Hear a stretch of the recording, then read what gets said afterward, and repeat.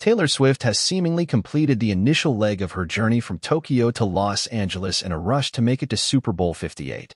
After performing at the Tokyo Dome on Saturday night, she was swiftly transported to a private jet at Haneda Airport, likely aiming to catch her boyfriend Travis Kelce and his Kansas City Chiefs in action on Sunday night. Reports suggest she flew for around nine hours covering 9,000 miles.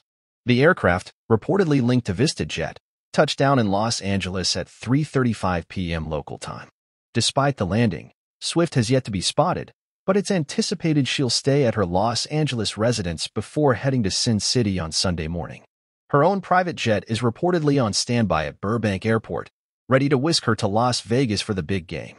With just over 24 hours remaining, she faces the final leg of her journey, a mere 300 miles to Las Vegas, Nevada.